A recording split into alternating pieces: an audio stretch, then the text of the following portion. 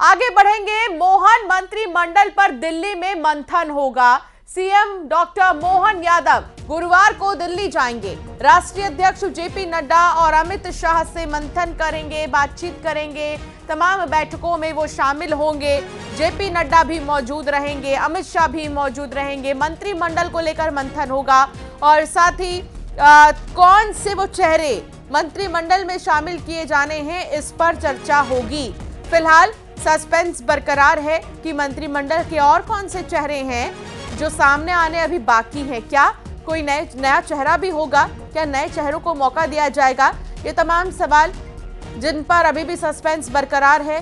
मुख्यमंत्री के साथ साथ जेपी नड्डा और अमित शाह भी इस बैठक में मौजूद रहेंगे। उनके साथ ही मंथन किया जाएगा, जिसके बाद नामों का ऐलान कर दिया जाएगा। विभाग कौन से किसको देने हैं और फिर कौन मंत्री बनाए जाने हैं? इन तमाम चीज़ों पर चर्चा होगी और सीएम गुरुवार को दिल्ली जा सकते हैं। तो मोहन मंत्रिमंडल पर दिल्ली में मंथन होगा।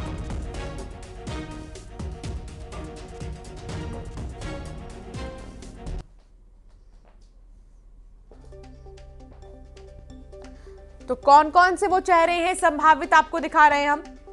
कैलाश विजयवर्गीय, प्रहलाद पटेल इसके अलावा राकेश सिंह, संभावित चेहरे जो मंत्री बन सकते हैं, राव उदय प्रताप सिंह ये मंत्री बन सकते हैं, रीति पाठक, इससे पहले काफ़ी ज़्यादा चर्चा में थी जब मुख्यमंत्री के चेहरे को लेकर रेस में नेताओं के नाम आ रहे थे तो ये वो तमाम ऐसे चेहरे हैं जो हम आपको दिखा रहे हैं।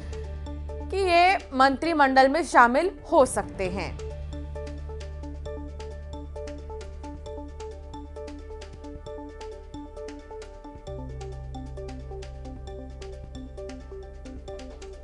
शैलेंद्र चौहान संवाददाता साथ जुड़ गए हैं। शैलेंद्र, मंत्रिमंडल को लेकर सस्पेंस अभी बरकरार है। हालाँकि मुख्यमंत्री मोहन यादव दिल्ली जाएँगे। इस बीच क्या जानकारी आपके पास? देखिए, बिल्कुल जो सीएम मोहन यादव की कैबिनेट को विस्तार होना है, उसको लेकर अभी भी सस्पेंस बना हुआ है। लेकिन ये माना जा रहा है कि क्योंकि कल वो दिल्ली दौरे पर रहेंगे एक दिन और वहीं पर रात्रि विश्राम भी करेंगे तो कल जो उनका सारा दिन है, वो प्रमुख नेताओं से मिलने में हो, रहेगा और वो राष्ट्रीय अध्यक्ष जेपी नड्डा से मिलेंगे, केंद्रीय गृह मंत्री अमित शाह से भी मिलेंगे। तो ऐसा माना जा रहा है कि मंत्रिमंडल को लेकर जो फाइनल चर्चा होना है कुछ नामों को लेकर तो निश्चित ही वो चर्चा कल होगी, ऐसा बताया जा रहा है। प्रदेश अध्यक्ष वी डी शर्मा भी कल जाने वाले हैं संगठन महामंत्री हितानंद शर्मा भी। तो ये सभी प्रमुख नेता कल दिल्ली में होंगे तो कुछ नामों को लेकर, कुछ पूर्व मंत्रियों को लेकर जो उलझन बनी हुई है कि किसे शामिल किया जाए और किसे नहीं लिया जाए तो कुछ नामों को लेकर कल सारी स्थिति लगभग ऐसा माना जा रहा साफ़ हो जाएगी। जो पार्टी के बड़े नेता, उनको मंत्रिमंडल में लिया जाना है तो उनके विभागों को लेकर भी कुछ चर्चा हो सकती है कि उन्हें क्या भूमिका में रखा जाए, क्या विभाग दिए जाए तो कल का दिन बड़ा महत्वपूर्ण है। आज हमने सीएम मोहन यादव से बात भी की थी तो उन्होंने ये भी कहा है कि निश्चित ही जल्द ही सामने आएगा मंत्रिमंडल को लेकर जो आप लोगों को भी इंतज़ार है, वो कुछ ही समय में सामने आएगा।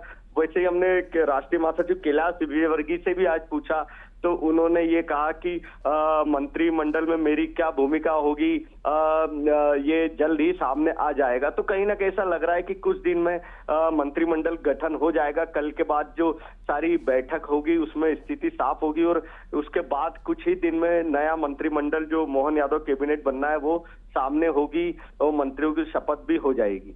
बिल्कुल, और इस पर सस्पेंस जो बरकरार है, वो खत्म भी हो जाएगा। कल की इस बैठक के बाद कहा जा रहा है। शैलेंद्र, शुक्रिया जानकारी साझा करने के लिए।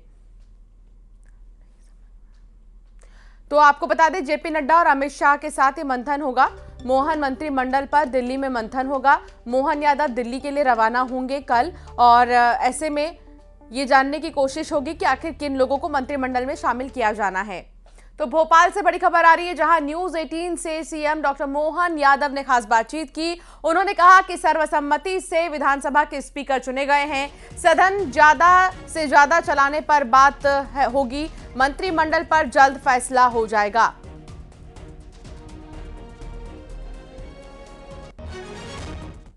बात है, हमारे लिए सौभाग्य की बात है कि माननीय नरेंद्र सिंह जी का व्यक्तित्व इतना अच्छा है कि हमारे सभी मित्रों ने दोनों दलों के लोगों ने मिलकर के उनका चयन किया। मेरी अपनी ओर से माननीय नरेंद्र सिंह जी की बधाई और साथ ही ये सकारात्मक अच्छी पहल है। हम सब उम्मीद करेंगे कि ये क्रम जारी रहे।